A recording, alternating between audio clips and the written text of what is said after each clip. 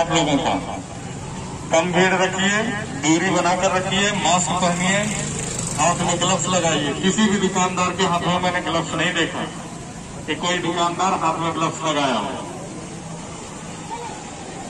ये बीमारी खतरनाक है, खासकर बुज़ुर्गों के लिए। बहुत खतरनाक है। नई उम्र के बच्चे ये सोचें कि हमें कुछ नहीं होगा तो उनको तो नहीं होगा। लेकिन उनके घर में भी बुज़ुर्ग होंगे।